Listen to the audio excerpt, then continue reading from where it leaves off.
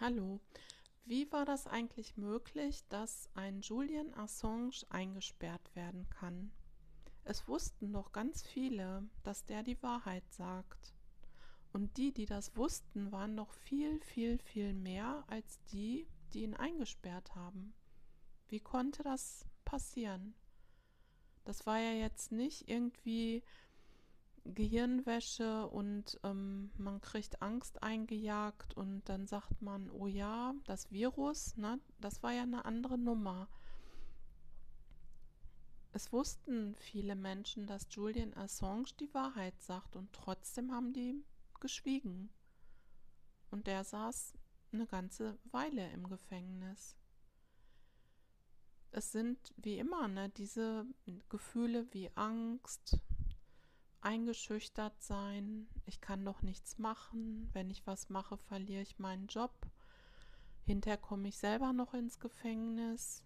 Und jeder muss selber seine Suppe auslöffeln. Und ich habe so viel im Alltag zu tun, ich kann mich um sowas nicht kümmern, ich habe keine Zeit für die große Politik. Also die Erklärungen, warum man geschwiegen hat, manche wussten vielleicht auch gar nicht. Ich wusste auch lange Zeit gar nicht, weil das bis zu mir auch nicht durchgedrungen ist. Ich war früher vor dieser Corona-Lüge, sag ich mal, war ich auch nicht so politisch unterwegs. Aber es gab ja auch viele Leute aus dem juristischen Bereich, aus dem politischen Bereich, aus dem Medienbereich, die wussten, dass so ein Julian Assange sitzt. Und er ist ja nur ein Beispiel für etwas, was ganz oft im Leben passiert, dass einer die Strafe kriegt und ganz viele andere schweigen, aus den Gründen, die ich gerade sagte. Jetzt kann man sagen, ja, so ist es. Die Welt ist schlecht und einer kümmert sich nicht um den anderen, aber das stimmt nicht. Meine Erfahrung ist, ähm, dass das andere Gründe hat, warum Menschen schweigen. Also meine Sicht auf die Dinge ist, dass die Menschen schweigen, weil sie das in der Tiefe nicht fühlen können, was bei dem anderen los ist, weil wenn sie das nämlich fühlen könnten, dann wären sie unruhig. Und dann würden sie sagen, das geht so nicht, ich kann nachts kein Auge mehr zumachen, ich, ich will jetzt mich nicht um andere Sachen kümmern, das ist mir jetzt wichtig. Und man muss, nicht jeder muss sich jetzt für Julian Assange interessieren, aber jeder Mensch hat wahrscheinlich in seinem Umfeld irgendein Thema, wo er von Kenntnis hat, aber trotzdem nichts macht. Und da ist ja die Frage, die wir uns schon seit, ich weiß nicht, vier Jahren stellen, warum machen die Menschen nichts? Das ist dieses ähm, im Prinzip das ein bunter Blumenstrauß an negativen Gefühlen. Und die heißen immer gleich. Die heißen immer Scham, Schuld, Depression und Angst. Es gibt auch noch Eifersucht und Neid, aber die sind jetzt dabei, glaube ich, nicht so wichtig. Aber diese üblichen Standardgefühle, die jeder kennt, vor allem Angst und dieses Gefühl, ich bin hilflos, ich kann noch nichts machen, die halten uns im Griff. Und manche Leute sagen ja, nee, ich habe keine Angst, aber mich interessiert das einfach nicht. Das sind Worte. Wenn man ein bisschen tiefer bohrt, dann ist auch bei solchen Menschen irgendwo eine Angst. Ne? Die Angst aufzufallen, anders zu sein als die Nachbarn, als die Arbeitskollegen und dann irgendwie, dass man ausgeschlossen wird im Verein oder am Mittagstisch in einer Firma oder keine Ahnung. Also Menschen sind sehr empfindlich, wenn es um Ausschluss geht. Und natürlich ist das eine Angst, aber die ist so tief verbuddelt, das ist den Leuten nicht bewusst. Jetzt kann man sagen, ja, schön, das macht es nicht einfacher, ne? Die haben Angst und wissen das noch nicht mal. Ja, das ist schon mal der erste Schritt, dass man vielleicht, wenn man sich für das Thema interessiert, versteht, Menschen können Angst haben, ohne das zu merken. Und Menschen können sich auch hilflos fühlen, ohne das zu merken. Die bauen sich eine Scheinsicherheit auf, wo alles seinen geregelten Gang hat und man das Gefühl hat, ich habe mein Leben im Griff. Eigentlich hat das Leben die im Griff, aber nicht die Menschen haben das Leben im Griff. Wie kann man Menschen auf die freundliche Art erklären, das Leben hat dich im Griff, aber nicht umgekehrt. Das will ja keiner hören. Also wie soll man Menschen erklären, du bist gerade in so einem Tiefschlaf und ähm, baust dir aber so eine Scheinsicherheit auf und ähm, guckst dein Fernsehprogramm und du glaubst, du hast Überblick und so weiter. Also das ist das ist ja das, wo wir seit vier Jahren drüber nachdenken, wie kann man anderen Menschen erklären, das, was du da gerade wahrnimmst, ist nur irgendeine Oberfläche, aber in der Tiefe spielt sich auch in dir selber ganz was anderes ab. Und da kann man, ich kann nur sagen, immer wieder das Gleiche, nur bei sich selber anfangen, weil wenn ich bei mir anfange, Tiefenbohrung zu machen, worauf keiner Lust hat und wo auch die meisten dann schon wieder abschalten und sagen, oh, jetzt kommt die schon wieder mit Tiefenbohrung. Das tut doch nur weh und das ist doch was für Menschen, die Probleme haben und ich habe doch keine Probleme. Warum soll ich denn eine Tiefenbohrung machen? Also meine Meinung ist, dass man bei jedem Tiefenbohrung machen kann und auch was finden kann. Ja, und was habe ich dann davon, wenn ich was gefunden habe? Ich kann anderen damit zeigen, wie es geht. Wenn ich zu einem anderen gehe und sage, komm, ich mach mal bei dir Tiefenbohrung, dann sagen die, geh weg. Also muss ich bei mir selber anfangen. Ich muss bei mir selber gucken, wovor habe ich eigentlich Angst? Wo habe ich eigentlich so ein ich, wie nennt man das? Da gibt es irgendeinen so Ausdruck für so einen Normalbürger in mir, so einen kleinen Spießer in mir, den habe ich auch in mir. Ne?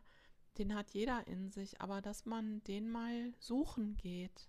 Ich nenne das jetzt mal Spießer, weil das hört sich nicht so psychologisch an. Ein Spießer ist ja im Prinzip auch nur etwas, also jemand, der Angst hat, Ne? Angst vor, ich fall außer Rolle und andere gucken mich komisch an. Deswegen halte ich mich wie so ein Sklave an alle möglichen Regeln. Und wenn wir bei uns selber mal gucken, wo haben wir so ein überangepasstes Verhalten in uns? Wo halten wir den Mund? Wo wir vielleicht auch mal was sagen könnten. Das sind manchmal Kleinigkeiten. Und wenn wir das für uns alleine erstmal angucken, dann können wir auch gucken, was ist eigentlich meine Angst? Wovor habe ich dann Angst, wenn ich das und das mache? Was ist das Schlimmste, was ich dann befürchte? Und das ist ja immer Ausschluss, ne? dass ich alleine dastehe, emotional alleine dastehe und keiner versteht mich. Ja, und was ist daran so schlimm? Ja, daran ist schlimm, dass ich dann unsicher werde und ja, selber nicht mehr weiß, ob das jetzt gut oder schlecht war, weil ich das selber nicht so genau spüre, weil ich das vielleicht nicht sicher aus mir selber heraus bestimmen kann, was richtig gut für mich ist. Das heißt, am Ende kommt sowas raus wie, ich weiß nicht so genau, was für mich gut ist.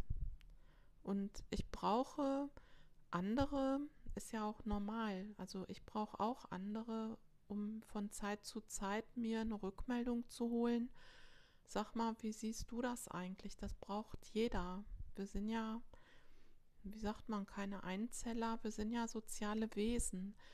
Die Urangst ist aber, die sofort angeschaltet wird, ich bin komplett für immer alleine auf mich gestellt und dann bin ich nicht lebensfähig.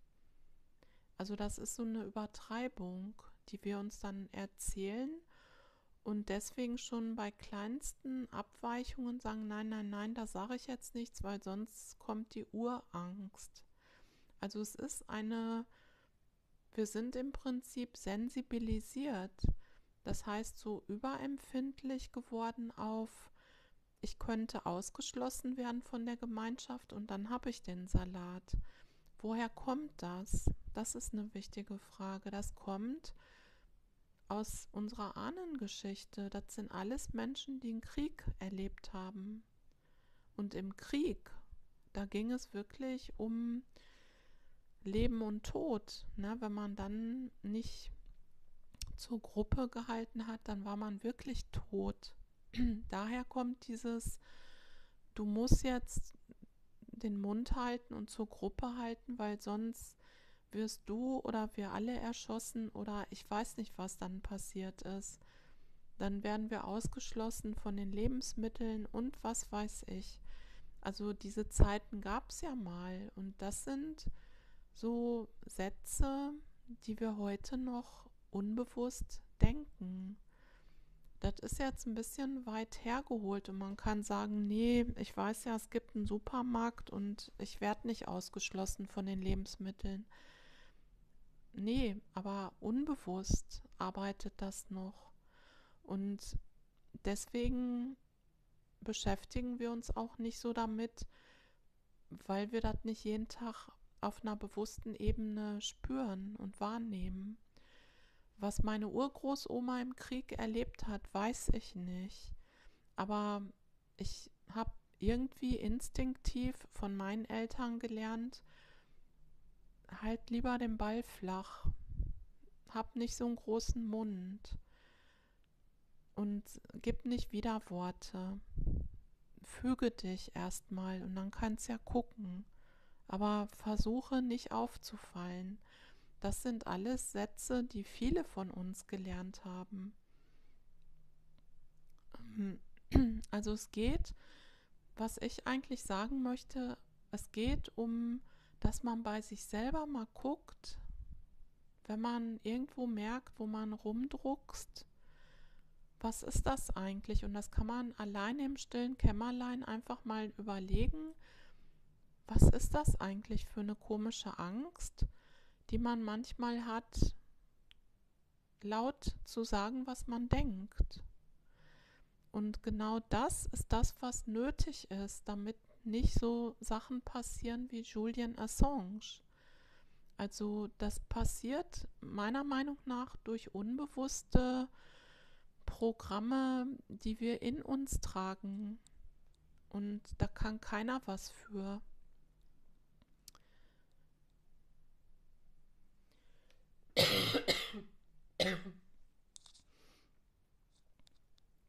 Eigentlich habe ich alles gesagt. Also das ist im Prinzip eine Aufforderung, mal zu gucken, wo halte ich den Mund? Und dann verstehe ich besser, warum andere den Mund halten. Und dann kann ich an mir ein bisschen arbeiten und andere können das beobachten. Ich kann für andere ein Vorbild sein, ein Modell sein. In einer bestimmten Angelegenheit, nicht in allen Sachen, in einer Sache. Und wenn viele Menschen das machen, dann gibt es viele gute Beispiele, wo Menschen den Mund aufmachen und dann gibt es immer weniger Möglichkeit vom System, uns zu erpressen. Ich wünsche euch eine schöne Woche.